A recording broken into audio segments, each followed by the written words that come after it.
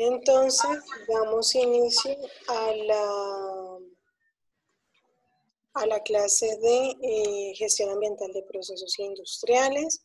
Hoy vamos a hablar de lo que son los procesos unitarios, como iniciando con el tema de tipos de reacciones químicas y posteriormente vamos a hablar de lo que son los tipos de reactores.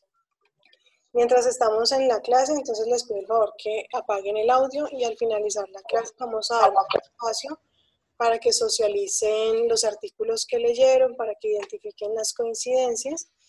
Y eh, ese artículo les recuerdo que está para ser subido al aula virtual. En ese caso, si lo trabajaron en el cuaderno, me pueden regalar una fotico eh, y luego lo, lo subimos como actividad al aula. Em, pero entonces la idea es que socialicemos cuál fue el, artículo que encontraron y el tipo de reactor, qué características de la reacción encontraron, para hablar un poco de cómo se clasifican ellos. Entonces voy a dar inicio a, em, a lo que son procesos unitarios. Entonces habíamos estado hablando de operaciones unitarias, en lo que fue el primer corte. Esta como tal es la primera clase de segundo corte. Y empezamos a hablar de aquellas operaciones en o etapas de proceso en las que ocurren cambios de tipo químico.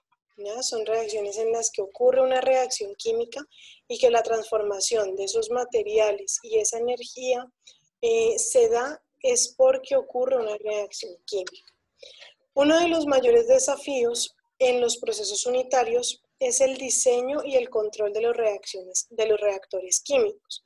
Entonces, no es solamente pensar en que solo una etapa en la cual ocurre una reacción química, sino que presenta una serie de desafíos que tienen que ver con el diseño del reactor y con la manera como se van a controlar las variables dentro del reactor. Entonces no es algo tan sencillo. Una reacción química, pues, es una operación unitaria también, pues la denominamos proceso unitario, pero su función es distribuir de forma distinta los átomos de ciertas moléculas. ¿Qué quiere decir esto? Que tenemos la participación de unas sustancias que entran a reaccionar o sustancias reaccionantes y que éstas, a partir de su interacción bajo ciertas condiciones o en condiciones normales, pueden interactuar entre sí para ser transformadas en unas nuevas sustancias o ya denominadas como productos. Eh, estas reacciones químicas se presentan en un equipo industrial que pueden ser de varios tipos, pero que normalmente lo llamamos reactor químico. Eh, ¿Podría continuar? No, profe, espera un momento, por favor. Por favor, apaguen el micrófono para que no haya tanta interferencia. Si quieren en el chat, también podría yo estar pendiente de cuando me hablen. No sé dónde aparece el chat.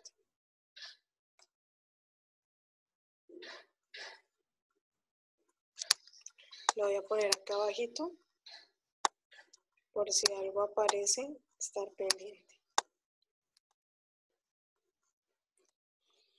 Listo. Em, entonces, continuamos. Todas estas reacciones químicas ocurren en un equipo industrial denominado reactor químico. Hay diferentes tipos de reactor. Y eh, vamos a hablar de cuáles son las, las condiciones que pueden incidir sobre una reacción química. Entonces podemos hablar de condiciones eh, por ejemplo, a nivel de las variables de proceso en términos de presión, de temperatura o de composición. Estas condiciones van a ser eh, las condiciones que nos van a permitir hacer que las sustancias que van a reaccionar entren en contacto, ¿ya? Entren o, o favorecen las condiciones para que se produzca la reacción química. No necesaria, nosotros podemos tener perfectamente en, el ambiente oxígeno y también metano, ¿cierto? Pero no necesariamente que se encuentren los dos implica que vaya a haber una reacción química entre ellos. Em, Y para eso es necesario tener unas condiciones de temperatura, de presión, la presencia de una chispa, para que realmente ocurra una reacción de combustión. ¿Listo? Em, las características, otra condición son las características termodinámicas y cinéticas de la reacción. ¿Qué quiere decir esto? Las condiciones en las cuales se encuentra cada una de las sustancias que entran a reaccionar. Por ejemplo, cuál es la temperatura de cada una de ellas o la temperatura del medio donde van a reaccionar. Y características cinéticas ya tienen que ver es con la velocidad con la que ocurre la reacción. De qué manera se proporcionan unas condiciones para que esas dos sustancias, que si se da una reacción, se da en, una velocidad relativamente lenta, ¿cómo hacemos para que esas dos sustancias realmente reaccionen en un tiempo específico en el cual yo quiero que ocurra la reacción? Eh, otra condición es las fases en las que se encuentran presentes los, las sustancias que van a reaccionar, en qué estado se encuentran, sólido, líquido o gaseoso, si las sustancias se encuentran en una misma fase o se encuentran en fases distintas. Esto es un determinante para poder poner en, poner en, ¿qué? En, reacción las sustancias. ¿Qué quiere decir eso? Poner en contacto las sustancias. Se me estaba escapando la palabra. Entonces, es importante tener en cuenta estas condiciones porque van a ser las que van a determinar si ocurre o no una reacción química en determinadas condiciones. ¿Puedo continuar?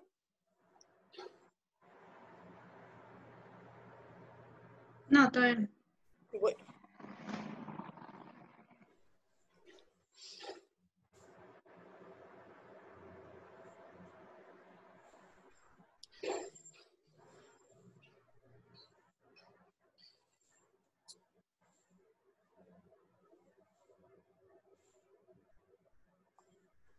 Listo. Entonces, ¿qué tipos de, reacciones se pueden presentar en, digamos, en, este tema o en este tipo de operaciones en las que ocurren cambios químicos? Nosotros podemos tener reacciones de descomposición en las cuales una sustancia reaccionante puede dividirse en dos o más moléculas, ¿listo? Inclusive en átomos o en radicales libres. Entonces, en una reacción de descomposición tenemos una sustancia en la cual eh, brindamos ciertas condiciones y esta sustancia se fragmenta en otras adicionales bajo determinadas circunstancias. Tenemos otras eh, reacciones químicas asociadas a temas de combinación. Aquí podemos tener dos sustancias, ¿cierto? Una molécula y un átomo que se unen entre sí, se combinan para formar una nueva sustancia. ¿Listo? Entonces podemos tener reacciones de descomposición en las que una molécula se divide en unas más pequeñas o podemos tener reacciones de combinación donde dos moléculas o una molécula y un átomo se unen para formar una nueva sustancia. Cabe aclarar que las sustancias que reaccionan tienen una naturaleza muy diferente a la naturaleza de las sustancias que se producen producto de la reacción química. Eh, adicionalmente podemos tener reacciones de isomerización, que también tiene esta particularidad. Las sustancias que la sustancia que se genera también va a tener unas propiedades diferentes. ¿Qué pasa con las reacciones isoméricas? Que lo que ocurre es un cambio en la distribución o en la configuración estructural de, eh, de la sustancia. ¿Listo? ¿Qué quiere decir eso? Que se convierte en otra sustancia, pero no porque cambie el número de átomos o porque se descomponga o porque se le agregue un nuevo, un nuevo radical o un nuevo átomo, sino porque su configuración interna los enlaces que tiene ha variado. ¿Listo?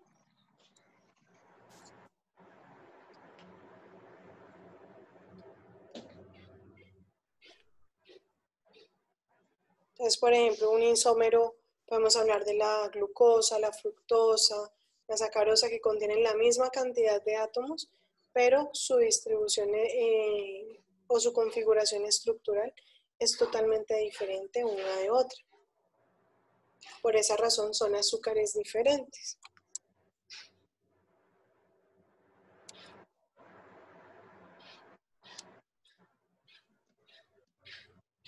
Profe, qué pena, ¿será que puedes volver a repetir el ejemplo de isomerizaciones que se escuchó entrecortado? Claro que sí, Mayra. Gracias.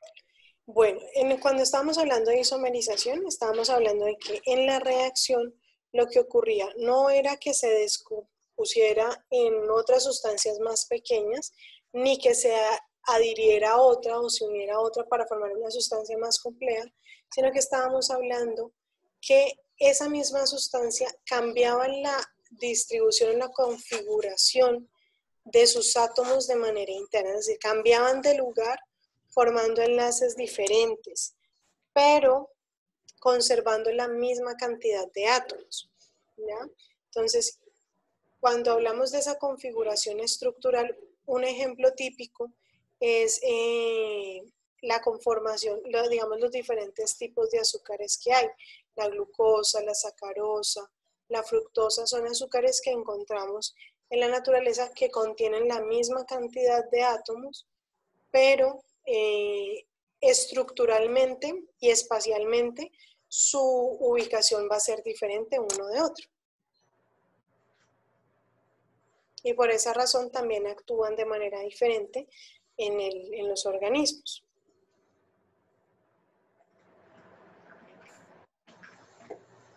Profe, pero ¿la isomerización es producto de alguna reacción? Sí, señor. La isomerización también eh, es un tipo de reacción química que puede ocurrir. Es, eso sí va a estar es asociada a otro tipo, a un tipo específico de, de características o de condicionantes, por ejemplo, en términos de eh, temperatura o de presión. Hay una, por ejemplo, en términos de plaguicidas, hay, una, hay un componente que, eh, que hace parte de uno de estos plaguicidas que se vende de determinada manera. Pero eh, como es un plaguicida y como se usa en el campo y como normalmente en el campo no están las condiciones para que esas, que esas sustancias se conserven de la misma manera como sean, eh, como sean qué, como sean eh, producidos, o sea, no hay, no, hay, no hay la posibilidad de que se conserven de la misma manera, estas sustancias son muy inestables y puede ocurrir que producto, digamos, de altas temperaturas, de temperaturas asociadas a su exposición al sol, cambien su configuración, ¿ya? Y al cambiar su configuración estructural, cambia totalmente las propiedades que tiene y su permanencia en el ambiente y su nivel de toxicidad, pero es producto de esas condiciones.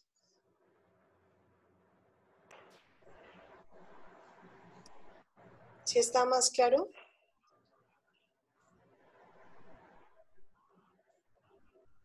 Espero que sí. Listo, profe. Listo. Sí, profe, gracias. Bueno. Entonces, nosotros vamos a encontrar clasificación en las reacciones químicas. Nosotros podemos hablar de reacciones homogéneas y reacciones heterogéneas. En cuanto a los tipos de reacciones, en este caso de la heterogeneidad u homogeneidad, vamos a hablar es de las fases que intervienen en la reacción. Entonces, cuando las sustancias que intervienen en la reacción, las sustancias que van a reaccionar, se encuentran las dos en la misma fase, estamos hablando de reacciones de tipo homogéneo. Pero si una de las sustancias que entra a reaccionar está en una fase y la otra en otra, por ejemplo, un sólido con un gas, este tipo de reacciones se denominan de tipo heterogéneo. ¿Listo?